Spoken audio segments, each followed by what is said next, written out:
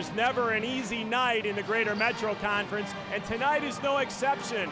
Menomonee Falls comes in red hot, winning five of six, while Sussex Hamilton has won nine of their 11 games this season and currently sit in second place in the conference. A raucous home crowd had the Chargers charged up early. Jacob Hartung drains this three from the top of the key. 19 9 Sussex Hamilton. Sweet! But the Indians weather the storm and rally before half. First, it's Jaden Champion with the steal, and the pinpoint bounce pass to Bryce McMurtry for the deuce. The lead is cut to four. Later, it's Champion going coast to coast for the bucket. He had 13 on the night, falls down just a single point at halftime. And the comeback is complete in the second. Big Matt Henningsen with some hard work inside. This follow gives the Indians the lead. Then it's McMurtry driving through heavy traffic. It falls for two of his game high 30, falls up nine. But the Chargers were far from finished. Here's Hartung with the swipe and the quick two, Hamilton down just four. Then it's Luke Semb right in front of us for three. Nothing but net. The Falls lead is just one, 63 62 with 27 ticks left. After some Falls free throws, the Chargers have a chance to tie, but Sem's three point try is too strong.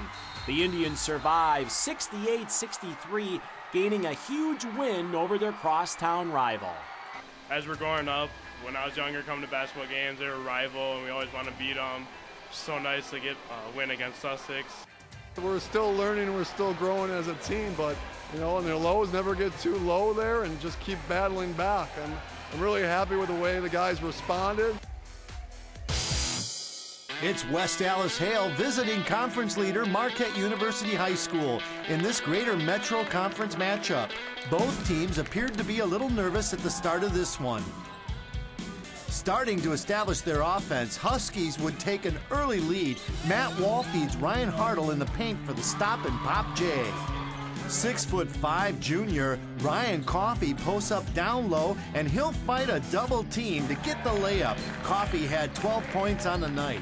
Senior Job Alexander gets behind the Husky defense and gets the two-handed jam. Hilltoppers on top. Timeout Hale.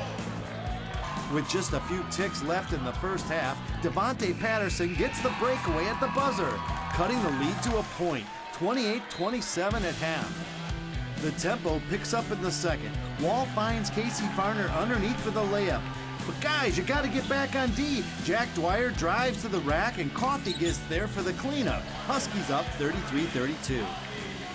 Hilltoppers pushing hard, gets picked by Patterson, and he'll make them pay. He finished with a team high 18 points. Huskies clinging to a lead. Senior Nolan Wright gets things going for the Hilltoppers as they go on a 14-3 run with this layup. The run would be capped off by Alexander as he hits this tough left-handed shot. He led all scorers with 20 points and would lead the Hilltoppers over the Huskies 66-56. We started off slow. Uh, can't really let that happen, but you know, over the course of the game, we started to get our things together, working the ball around, uh, you know, talking on defense, and it really helped us. Uh, we're trying to win the conference, and every win counts.